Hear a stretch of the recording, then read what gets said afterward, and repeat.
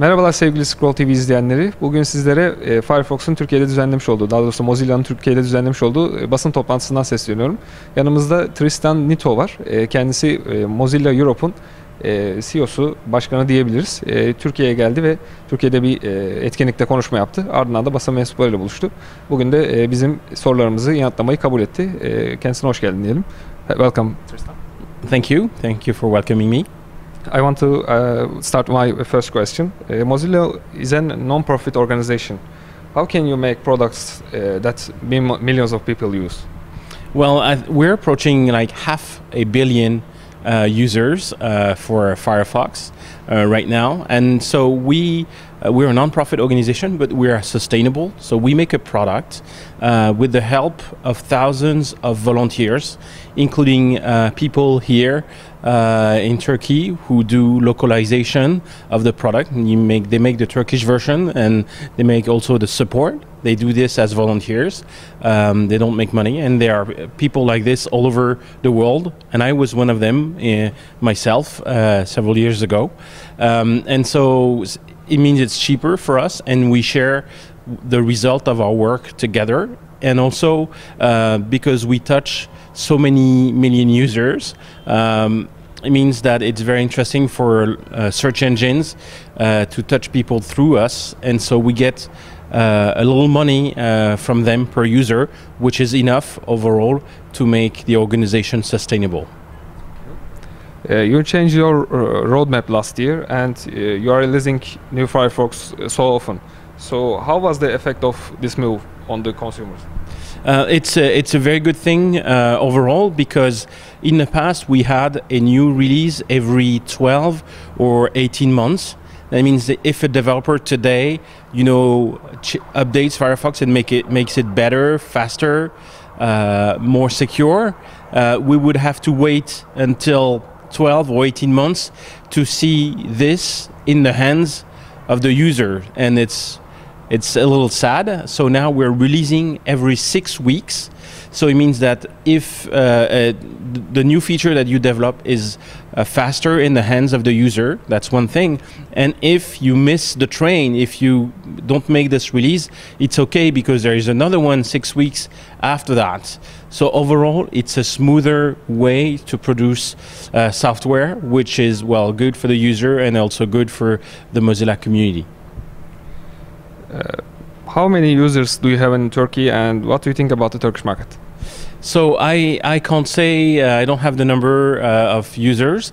I, the the number I have is that 18% of visits to websites are being made with Firefox in Turkey which is uh, which is pretty good uh, considering that we are the smallest uh, player in terms of number of employees uh, and we are the only non-profit organization who makes a browser.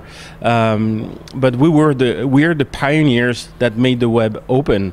If you if you recall several years ago um, Microsoft had a monopoly um, and we managed to break that monopoly and bring back competition and now there are new competitors coming that came after us uh, that are also uh, providing competition and which is uh, good uh, overall. But there is one thing to remember is that we are the only non-profit organization that makes a browser and all the others you know do advertising. Their job is to know more about you to target you and sell things better to advertisers.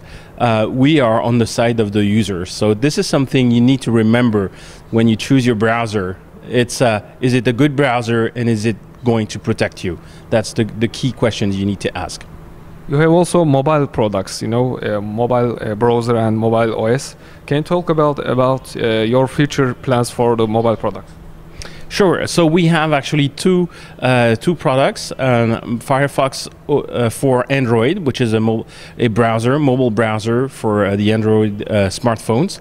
Uh, you can download it today. It's available, and it's uh, right now not available in Turkish just yet.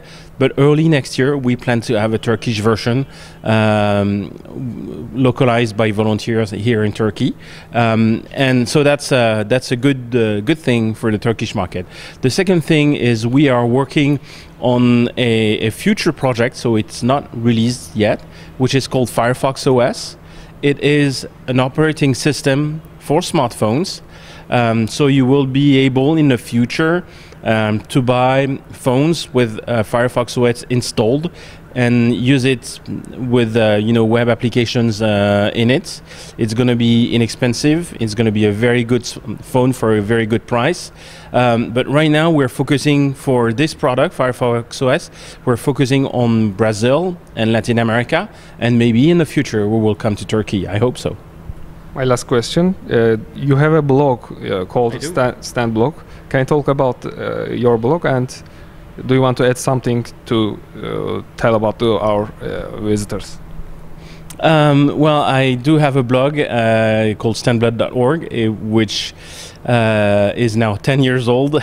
it's, uh, it's, it's an old blog, but I still keep uh, blogging. I also have an official Mozilla blog, which is called uh, Beyond the Code. So if, if, you search for Mozilla Beyond the Code, you will find my official Mozilla blog. Um, and I still enjoy blogging after 10 years.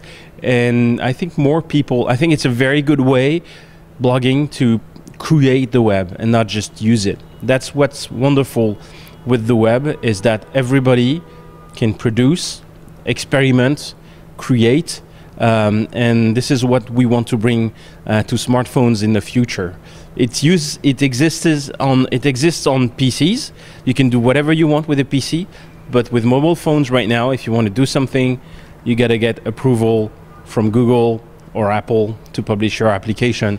And I don't think it's right. I think we want the values of the web where everyone can experiment. We want this into mobile. And you need to experiment with blogging to understand that. You create the web. That's fantastic. It's not like TV, where TV you need, you know, uh, something very big. But with the web, anyone can pro- product uh, can make a product, can make something, and touch potentially millions of people. Thank you for joining us. You're welcome. Bir başka videoda görüşmek üzere.